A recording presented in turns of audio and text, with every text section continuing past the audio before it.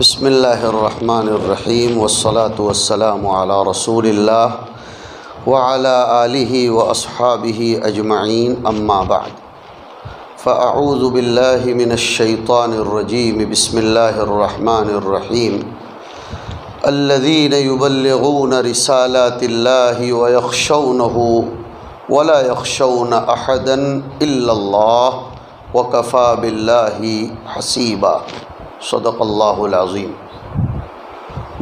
व मुअक्कर उलमाए किराम, ये काफ़िले क़ुरआन सिल्लोड़ के लिए रवां दवां था, जो आपके सामने इस वक्त तशरीफ़ फरमा है।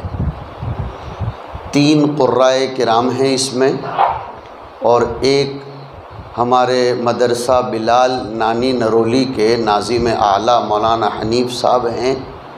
जो अपनी तवाज़ु की वजह से अपने आप को छुपा कर तशरीफ़ फरमा हैं, लेकिन वो भी हमा वक्त ख़दमात क़ुरानिया में अपनी मुनफरदाना नौीयत के साथ इमामुल्फ़न व तजवीद, हज़रत कारी सिद्दीक़ साहब दामद बरक़ातहमलिया की ज़ेर सरपरस्ती और हमारे बिरदर मुकर्रम कारी अब्दुल अज़ीज़ साहब मद्दज़िल्लाली की ज़ेर निगरानी वो इदारा रोज़ अफजू तरक्की कर रहा है, वो भी तशरीफ़ फरमा है और फिर हम फलाही बिरादरान यहाँ जमा थे, हमने नेक फाली ली कि गैर मुतव तौर पर सलमान साहब भी तशरीफ़ ले आए, जिन्होंने हमारी सलामती में दो बालगी पैदा फरमा दी।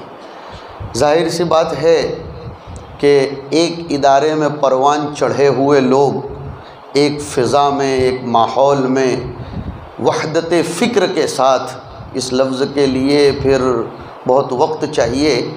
ये हज़रत समझ रहे होंगे कि मैं अपने किबार इस की रूह के हवाले ये लफ्ज़ कर रहा हूँ। उस वहदत फ़िक्र के साथ जो परवान चढ़े हों, जब वो जमा हो जाएँ तो फिर उस मसरत का क्या आलम होता है, मैं उसको अपने अल्फाज में बयान नहीं कर सकता। हकीकत ये है, मेरे प्यारे और मुआज़ मक्कर कराम, कि हम लोग जिन जिन इदारों से भी पढ़े हुए हों, चाहे काशिफ़ुलूम से, चाहे इशातुलूम से, चाहे माहद मिलत से, अशरफिया से, जिस इदारे से भी, हमारा काम वो है, जो हज़रत कारी साहब ने रिसालतुल्लाह की तबलीग के पेश नज़र उन आयात करीमा में आपके हवाले किया। हमारा काम क्या है? अल्लदीन युबल्लिगून रिसालतिल्ला हम अल्लाह के पैगाम को पहुँचाने वाले बने। और कुरान करीम अजीब है कि रिसालात को जमा लाकर इस बात की तरफ़ इशारा फरमाया कि खुदाए पाक का पैगाम सिर्फ़ मस्जिद के मुसल्ले तक, मिंबर तक, महराब तक या मकतब की मसनत तक महदूद नहीं है रिसालातिल्लाह।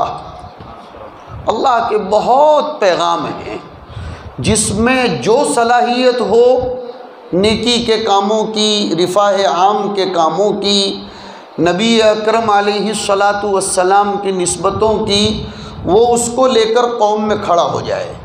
गुज्त कल, हम तो देखो भाई कट्टर पक्के नहीं, अपक्क देवबंदी लोग हैं। ये साफ़ सुथरी बात है। इसी पर जीते हैं, इसी पर मरेंगे और इसी पर उठाए जाएँगे। अब अगर कोई इसको ये कहे कि ये शख्सियत परस्ती तो हमने शख्सियतों का नाम कहाँ लिया है? हमें ये मालूम ही नहीं है कि देवबंदियत एक मनहज सही फ़िक्र मतदिल और विरासत नबूत के हामिलीन से मुंतसिब नस्बत का नाम है। और शाह बुखारी ने इसका तारफ़ एक जुमले में फ़रमाया था कि कोई अगर मुझसे पूछे कि देवबंद कौन थे तो हज़रत ने फरमाया, मैं कहूँगा, अरे आप वजद में आ जाओगे, इसलिए कि हमारे वजदी साहब यहाँ तशरीफ़ फरमाए हैं और वो अपनी क़रातों से वाक़ता लोगों को वजद में ले आते हैं, बल्कि आज तो मैं एक लफ्ज़ आगे बढ़कर कहूँगा कि वो अंदर जो जज्बात मर चुके होते हैं, उन्हें वो मजाजी तौर पर मौजूद भी कर देते हैं। माशा अल्लाह तबारक व ताली अल्लाह मज़िद फजिद। तो मैं अर्ज़ क्या कर रहा था कि अताउल्ला बुखारी रहमत ने फरमाया कि देवबंद की कोई मुझसे तारीफ़ पूछे तो मैं कहूँगा, सहाब किराम के काफ़िले में से कुछ रिजाल कार छूट गए थे, पीछे रह गए थे, वो इम्तदाद ज़मन के बाद देवबंद की शक्ल में रूनुमा हुए। और हमारे लिए शरफ़ व सआदत की बात है मैं आपको एक लफ्ज़ आज मुझे यहाँ बैठकर अल्लाह की तरफ़ से वो दिमाग में बात आ रही है कि हिंदुस्तान की सरज़मीन को ये शरफ़ जहाँ इस तरह हासिल है कि अव्वल नबी, अव्वल रसूल, अव्वल पैगाम्बर अगर सरज़मीन हिंद पर बशक्ल आदम पैदा हुए तो ख़ातमुलम्बिया के सही वारिसिन के लिए भी अल्लाह ने इस सरज़मीन का इंतखब फरमाया। वाक़ता और ये मेरे उस्ताद हज़रत शेख अली इबन अब्दुलरहमान अलहुज़ैफ़ी अदाम अल्लाज़ुल्लमत इस्लामिया। उन्होंने एक मरतबा सबक में मैं मदीना मुनवरा में उनसे पढ़ा हूँ दो साल तक तो एक घंटी में ज़रा सी मेरी आँख लग गई थी। आँख लग गई थी तो मुझे उन्होंने फरमाया, या हिंदी, कौम इस्तख़ उखरुज मिनफ़सल व तवज़ वस्तरह व सिर नशीतन। ये अल्फाज फरमाने के बाद कहने लगे कि हल अंत तारीफ़, अल हिंद माही अलबिलाद हिंदुस्तान क्या है तुम जानते हो? मैंने कहा, हज़रत, आप ही की ज़बान से मैं सुन लेना चाहता हूँ, ताकि ये शहादत, मैंने हज़रत से ये कहा था, ताकि ये शहादत मैं क़यामत के दिन अल्लाह के सामने दूँ कि तेरे नबी के मुसल्ले पर खड़े होने वाले ने हमारे मुल्क के बारे में क्या शहादत दी थी। तो हज़रत ने फरमाया, हिंदुस्तान वो है जिसने वाक़ता विरासत नबविया को सही माने में अपने ऊपर लिया और हज़रत ने फिर वो आयत पढ़ी, इन्ना आरज़नल अमानत अलसमावाती वल अर्दी वल जिबाली फ़बईन यहमिल नहा व अशफ़ नमिनहा व हमल हल इंसान। तो हज़रत ने फरमाया वह हमल हल हिंद। हिंदुस्तान ने इस, और फिर मैंने ये देखा कि हज़रत कभी ये नहीं बोलते, आज क्यों? शेख हुजैफ़ी ने ये बातें कहीं। तो अल्लाह ने मेरे दिल में जो तड़प थी, उसका जवाब भी ज़बान हाल से दिलाया कि ईशा की नमाज़ के बाद मैं मदीना की गलियों में फिर रहा था, अचानक मैंने देखा कि शेख हुजैफ़ी अपने दोनों हाथों में टिफ़िन का डब्बा उठाए हुए एक होटल की तरफ़ जा रहे हैं। मैंने कहा, इतना बड़ा इमाम, इतना बड़ा इमाम और तो मैं फ़ौर आगे बढ़ा और मैं कहा, नहीं मैं इस खिदमत से अपने आप ही को मसूद मुशर्रफ रखना चाहता हूँ। मैंने कहा, हज़रत आखिर क्या खिदमत है? क्या तुम्हें नहीं मालूम कि मुफ्ती महमूद गंगोही रहमत उस वक्त तो वो दामद बरकतहम थे, फुला होटल में ठहरे हैं, मैं उनके लिए टिफ़िन लेकर जा रहा हूँ। अब मैं आगे सुनाऊँ, ये कारी अब्दुल अज़ीज़ उस कारी के शागिर्द हैं, जिनका हमें भी शरफ़ तलम्मुज़ हासिल है। जिनकी क़रात सुनकर, यानी इमामुल्फ़न हज़रत कारी सिद्दीक साहब, दामद बरक़ातहम की, उनके अपने शबाब की क़रात को साउथ अफ्रीक़ा में, इसी शेख हुजैफ़ी ने सुनकर ये कहा था कि मैं मुतमनी हूँ कि हिंदुस्तान आकर आपसे भी मैं कुछ क़रात पढ़ूँ। और उसके गवाह मौलाना अब्दुल्ला साहब कापुद्रवी रहमत थे। तो ऐसे अरबाब फ़न हमारे मुल्क को अल्लाह ताला ने नसीब फरमाए हैं कारी सलमान साहब ने भी उसी कारी सिद्दीक साहब अदाम अल्लाजिल्लना की ज़ेर तरबियत, ज़ेर शफ़त व रहमत अपने आप को परवान चढ़ाया और आज ये लोग अल्लादीन रिसाला रिसालातिल्ला हाँ ये भी रिसालातिल्ला है। और सबसे बड़ा इम्तियाज़ जो मैं आप लोगों के हवाले करना चाहता हूँ, जो मैंने कारी साहब के शागिर्दों में पाया, अल्लाह करे कि मुझे भी वो नसीब हो कि ये हज़रत मौका महल के अतबार से कुरान करीम की आयत का इंतखब करते हैं। जैसे अभी रबी अव्वल चल रहा है, आपने कारी साहब को सुना कि उन्होंने दोनों तीनों जगहों से जिन आयत का इंतखब किया, वो सीरत नबविया पर जाम और उसको शामिल की हुई आयतें हैं। वह दुहा में भी सीरत नबविया है, अलम नशरह में भी सीरत नबविया है और माकान मोहम्मद नबा हदिम रिजालिकुम। मैं अर्ज़ ये करना चाहता हूँ कि हमें अल्लदीन युबल्लून रिसालातिल्ला हमें बनना चाहिए। हमारा काम अल्लाह के पैगाम को लेकर चलने वाला होना चाहिए। युबल्लून रिसालातिल्ला मैं कैसे फरामोश कर सकता हूँ सुन्ना? हज़रत शाह अबरारहक साहब हरदोई नवरल्ला मरकदहू के उस मलफूज को कि अल्लाह पाक ने फरमाया, या रसूल, बल्लिग माँ उन ज़िले का मेर रबिक हुजूर को तबलीग का हुक्म दिया गया, उलमा हैं आप, और बहुत से इसमें माशा मसंद दर्स पर रौनक अफरोज़ होते हैं। मफ़ूल बिही, ये फ़ैल और फ़ाइल के साथ क़ैद की हैसियत रखता है। और जब कलाम मुक़ैद हो जाता है तो फिर उसमें इतलाक़ की गुंजाइश नहीं होती। बल्लिग पहुँचाइए ऐसा नहीं कहा, बल्कि बल्लिग को बांधा, माँ उन ज़िले कमर रबी कि आप पहुँचाइए माँ, उन सारी बातों को। लफ्ज़ माँ में अमूम है, मन और माँ में अमूम है, माँ वो तमाम बातें उन ज़िले कमर रबी जो आपकी तरफ़, आपके रब की तरफ़ से नाजिल की गई। हमें उस पर चलना है। हम अपनी शख्सियत का तारुफ पहुँचाने वाले न बने, अल्लाह का तारुफ पहुँचाने वाले बने। ये झगड़ा है उलमा कराम का आजकल। हम अपने आप का तारुफ पेश करवाने में पेश पेश रहते हैं और अल्लाह का तारुफ नहीं करवाते, इसकी नहूसत क्या आई? ये अल्फाज ज़रा कड़वे कसेले हैं, लेकिन अपन सब एक ही बिरादरी के हैं। और फिर औरंगाबाद के लिए मैं कोई नया नहीं हूँ, और मेरे ख़ुद के अपने फ़र्जंदान यहाँ मौजूद हैं। और जो नहीं हैं, उनको भी मैं अपने ही फ़र्जंद समझता हूँ। अल्लाह ताला हम सबको दीन की नस्बत पर महब्बत नसीब फरमाए। इसकी नहूसत क्या हुई, ज़रा सुनने में शाख तो गुज़रेगा। जब से हम हल्क़ ने अपने तारुफ में अपने आप को आगे बढ़ाया तब से अल्लाह रब्बुल इज़्ज़त ने हमारा मकाम गिरा दिया। ये है मुसीबत। और जिस दौर में हमारे हल्के ने अल्लाह के तारुफ को लोगों के दरमियान आम किया तो फिर अल्लाह ने अपने उन बंदों का तारफ़ मखलूक में आम करवा दिया। और ये मैं वैसे ही नहीं कह रहा हूँ, मेरे पास इसके लिए एक दलील है। हदीस शरीफ में आता है कि अल्लाह जब अपने किसी बंदे से महब्बत फरमाते हैं, हदीस मशहूर है, मैंने उससे इस्तदलाल जो किया वो आपके लिए एक अजीब अंदाज का होगा कि अल्लाह फिर फ़रिश्तों के ज़रिए मखलूक के दिलों में उसकी मोहब्बत बिठाते हैं। और फिर लोगों में वो महबूब व मकबूल बनता है।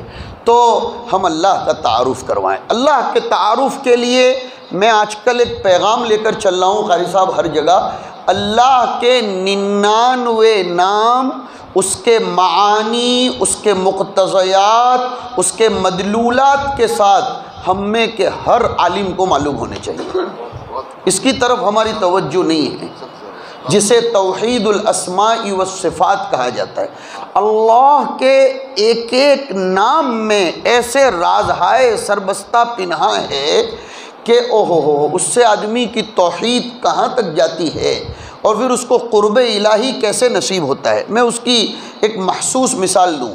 अगर आपको ये मालूम हो, हाफिज़ फ़ारूक साहब तो आपके दिल में होगी अज़मत, लेकिन उसकी नौीयत एक अलग होगी। लेकिन फिर आप आगे बढ़ेंगे। हाफिज़ कारी फ़ारूक साहब तो अब और अजमत बढ़ेगी। क़ुरब भी आप ज़्यादा इख्तियार करोगे। फिर मौलवी की सिफत लगेगी। फिर मुफ्ती की सिफत लगेगी। जितनी सिफात बढ़ती चली जाएँगी, उतना आप क़ुरब हासिल करने की कोशिश करेंगे।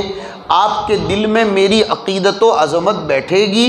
अल्लाह का निज़ाम भी यही है, इन मम्बरों के पास खड़े होकर हर जुमा को अल्लाह के नाम के मदलूला तो मुख्तज़यात सुनाओ।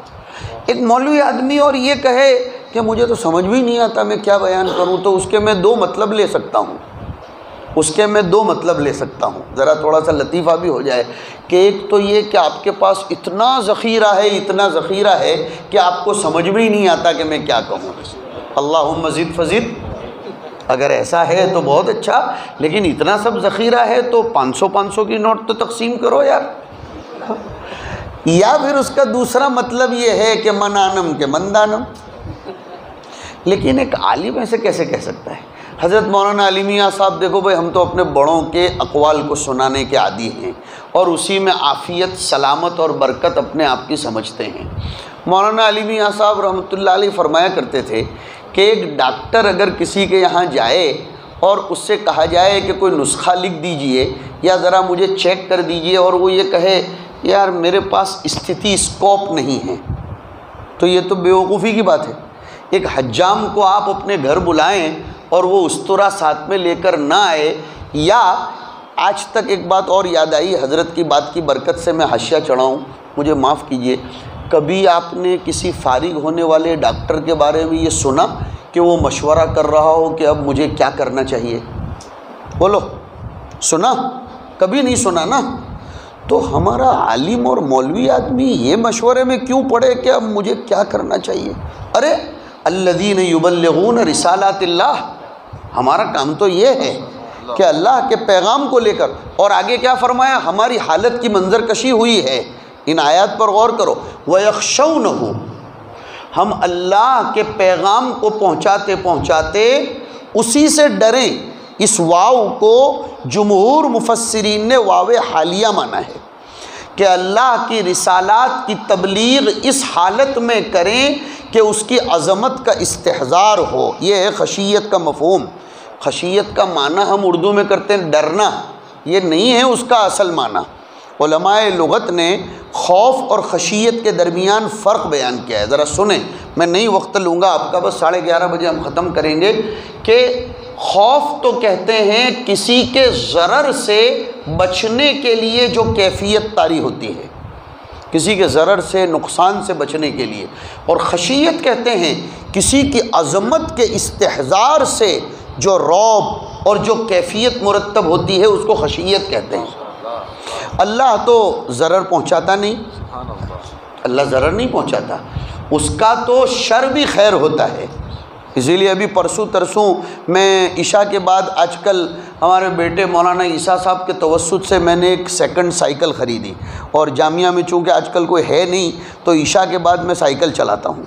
तो उस वक्त कुछ एक दो तलबा ये शोब इजाज़ा में मश्क कर रहे थे। उन्होंने जब देखा कि मौलाना आते हैं तो वो फिर रुकने लगे कि जब मौलाना साइकिल चला कर थक जाएँ तो उनके पास थोड़ी देर बैठेंगे तो मैंने कहा कि अब ये लोग बैठते हैं तो मुझे इनके साथ तेरी मेरी नहीं करनी चाहिए।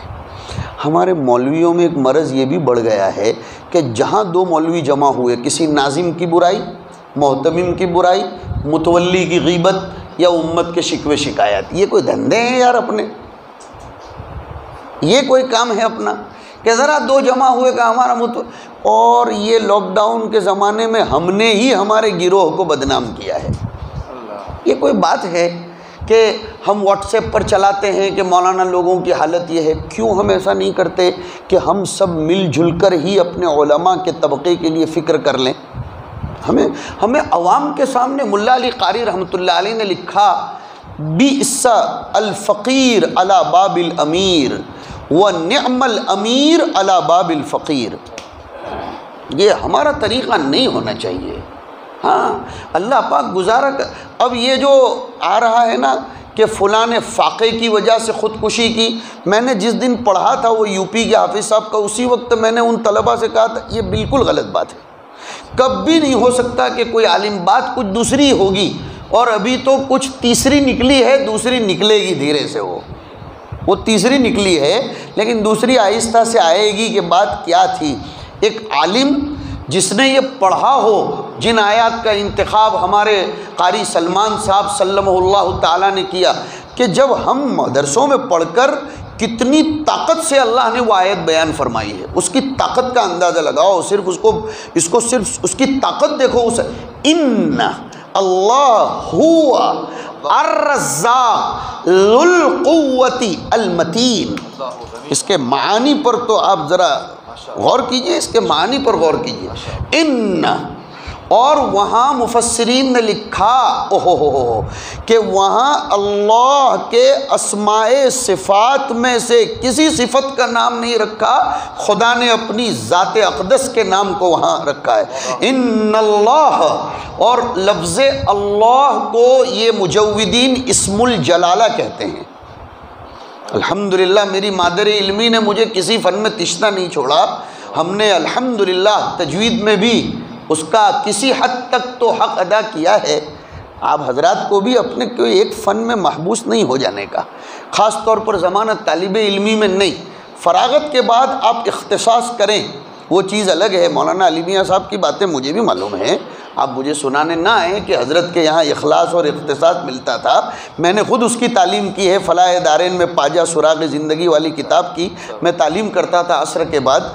लेकिन ज़माना तालब इलमी में अपने बच्चे जो आपके हों, उनको किसी एक ही चीज़ की तरफ़ नहीं। हमने इमामफनी व तजवीद हज़रत कारी सिद्दीक साहब दामद बरकतहम को देखा कि वो अपने तलामज़ा को तजवीद के साथ साथ तफसीर की तरफ़ भी बराबर तवज्जो मबजूल कराते हैं। हदीस शरीफ की तरफ़ भी बल्कि अभी एक आध महीने पहले हज़रत की ज़्यारत के लिए जाना हुआ फरमाने लगे कि मुझे अफसोस होता है कि बाद हज़रत हदीस शरीफ पढ़ाते पढ़ाते कभी तो मुझे दो चार सफ़े भेज दें व्हाट्सएप पर कि जिसमें तजवीज़ की कोई बहस आई हाँ, ये एक आदमी की फ़िक्र होनी चाहिए, जिससे फिर वो ऐसी नस्ल को परवान चढ़ाता है, जो नस्ल बेहतरीन फ़सल पेश करती है उम्मत के सामने। तो मैं अर्ज़ क्या कर रहा था कि वयक्षव न हो अल्लाह की खशियत। खशियत किसको कहते हैं, याद रहा?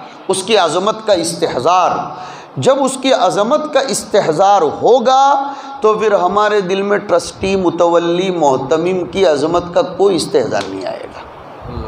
हाँ इसीलिए आगे क्या फरमाया? वलायक्षौन अहदन इल्लल्लाह। वलायक्षौन अहदन इल्लल्लाह। वकफ़ा बिल्लाहि हसीबा। ये वो पैगाम है जो कुरान मजीद हमको देता है। ये जो लॉकडाउन का ज़माना गुज़रा, हमें मुहासबा भी करना चाहिए कि हमने क्या किया है। हमने क्या किया? एक आलिम आदमी और वो फुर्सत महसूस करे? नहीं। वो जहाँ से भी गुज़रे, अपनी खामोशी से भी कोई ना कोई पैगाम देता हुआ गुज़रना चाहिए।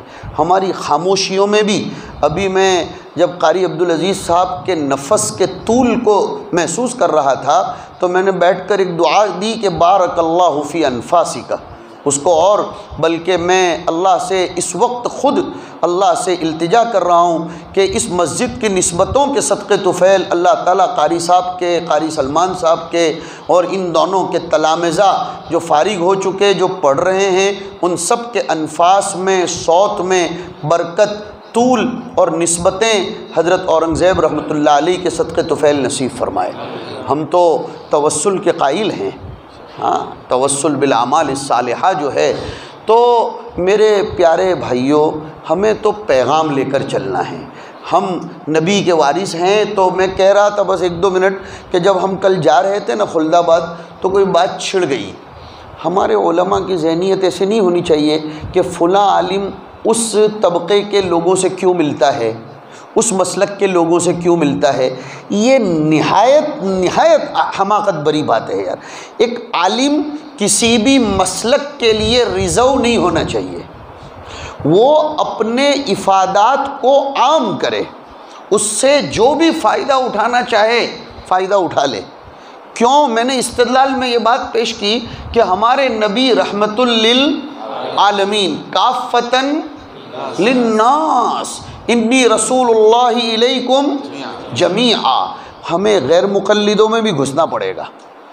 हमें मौदूदी मसलक वालों में भी अंदर घुसकर कुरान करीम के दुरूस की तबलीग करनी पड़ेगी। वरना होगा क्या? खान खालीरा दे उमी गिरत। जिस घर में कोई रहता ना हो तो जिन्नात बसेरा कर लेता है। ये मिम्बरों को हमने छोड़ा दूसरों ने उसको पकड़ लिया। अब हम शिकवे करते हैं कि यार, कुछ ठिकाना तो है नहीं, और फिर बैठ जाते हैं मिंबर पर। हमारा ठिकाना था, लेकिन हमने वो ठिकाना छोड़ दिया तो दूसरों ने ले लिया। तो ये कब तक चलेगा कि हम अपने आप को मुक़ैद महबूस करेंगे? अपनी ज़िम्मेदारी को हमें समझना चाहिए और संभालना चाहिए। समझना भी है और और अल्लामा इकबाल जो कह गए, उनके अशार में से कोई तो वजह थी कि मौलाना अली मियाँ साहब ने पाजा सुराग ज़िंदगी पर उस शेर को मंतखब करके लिखा है, दर सीन ए तू, माहे तमाम निहादा अंद कि तेरे सीने में, तेरे सीने में अल्लाह ने चौदहवीं रात का चाँद रखा है। क्या मतलब इसका? तशबी भी अजीब दी है। चौदहवीं रात के चाँद को गरीब, अमीर, फ़कीर झोंपड़ी वाला महल वाला मालदार, आलिम, जाहिल सब देख सकते हैं ना? तो हमें भी चौदहवीं रात का चाँद बनना चाहिए कि हमसे हम जिहती लोग फ़ायदा उठा सकें। तो फिर अल्लाह ताला हमारी ज़रूरतों को ऑटोमेटिकली पूरी फरमाएँगे। जब वो हवाओं में उड़ने वाले परिंदों की ज़रूरत को पूरी करता है और एक दाना रोज़ी किसी की कहीं लिखी हो तो किसी न किसी बहाने से उसको वहाँ पहुँचा देता है तो हमें ये भूखा थोड़ा मारेगा। हमने ख़ुद अपनी इज़्ज़तों को गिराया है, हमें ख़ुद अपनी इज़्ज़तों को बुलंद करना पड़ेगा। मल्लम या अरिफ नफ्स हो लम या अरिफ रब हो और उर्दू में हम लोगों ने फ़लाह दारेन में उर्दू की दूसरी या तीसरी किताब में पढ़ा था, अपनी इज़्ज़त आप करो। तो हमें अपने वक़ार को भी संभाल कर रखना है और माशाल्लाह आप लोग बहुत खुशनसीब हो कि आपने ऐसे क़ुर्राए कराम से क़रात को सुनी जिनको सुनने के लिए लोग तड़पते रहते हैं। ये कारी अब्दुल अज़ीज़ साहब को आप क्या जानें कि ये क्या जनाब हैं और ये कौन मोहतरम हैं? इनकी क़रात को मिस्री क़ुर्रा सुनने के लिए इनको यहाँ से मिस्र बुलाते हाँ, हम मिसरी क़ुर्रा को यहाँ बुलाते हैं ना, लेकिन कारी साहब को वो क़ुर्रा वहाँ बुलाते हैं और अपने यहाँ बड़ी बड़ी मजाम में इनकी क़रातों का इनका करते हैं। अब आपने ये फल देखा है दरख्त का अंदाज़ा भी इन आपने कर लिया होगा। भी इज़्ला तबारक व ताली, वो वक्त भी आएगा। मैं इस वक्त शुक्रगुज़ार हूँ हमारे बेटे मौलाना अब्दुलसत्तार साहब और मौलाना ईसा साहब का कि उन्होंने गुजशत कल शाम में ही मैंने उनको कहा कि हमें क्यों महरूम होना चाहिए। तो बहुत मुख्तसर वक्त में इन्होंने ये ऐसा एक निज़ाम बनाया। आप हज़रत तशीफ़ फरमा हुए अल्लाह पाक हमें कुरानी नस्बतों का हामिल बनाए और अब अपने मंबर महराब के हकूक़ अदा करने वाले बन जाओ। ये अब हमें अदा करना पड़ेगा। वरना आने वाला वक्त हिंदुस्तान का बड़ा ख़तरनाक है। लेकिन उस ख़तरनाकी को तोड़ने के लिए मंबर महराब ही सबसे बड़े काम आएँगे। मंबर महराब से सदाएँ लगेंगी तो इस ताकत को मुझे याद आया बस ये आखिरी जुमला वाक़ता आखिरी जुमला। अब कि तरकेसर में मौलाना अब्दुल्ला कापुदरवी साहब रहमतुल्लाह के नाम से सेमिनार था हज़रत को भी याद होगा कि मौलाना खालिद सैफुल्ला साहब ने एक जुमला फरमाया था कि सियासी लोगों की हज़ारों तकरीरें वो काम नहीं कर सकती है जो एक आलिम के दो मिनट का ख़िताब उम्मत में इनकलाब पैदा कर जाता है। हाँ, हाँ, ये बात खालिद सैफुल्ला साहब जैसे मुफ़क्किन ने फरमाई थी। वाक़ता बात है। तो अब हमें इसकी ज़िम्मेदारी लेनी है। हक़ ताला शाह हम सबको कबूल फ़रमाए। इस काफ़िले क़ुरानिया की अल्लाह पाक सदा हिफाजत फ़रमाए। आफ़ियत से रखे, सेहत और सलामती के साथ रखे और इनके मिशन को अल्लाह पाक हरदम रवा दवा रख कर मादर इल्मी को दरख्शिंदा, ताबिंदा बनाकर, उसको रोज़ अफजू तरक्यात से नवाजता रहे। वसल्ला वसम अला नबीना व मौलाना महमद वाली व असहाबी अजमाइन।